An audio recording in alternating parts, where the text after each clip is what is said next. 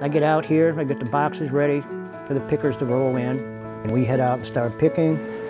The cleaning crew comes in here. If we have berries ready for them, they start cleaning, and this machine starts humming, and it doesn't stop until the end of the day. A hectic three weeks. If I get more than three weeks, I'm a happy guy. Less than three weeks, not so much so. Let's keep plugging away at it and putting whatever money we make right back into it so that every year we get better and better and better.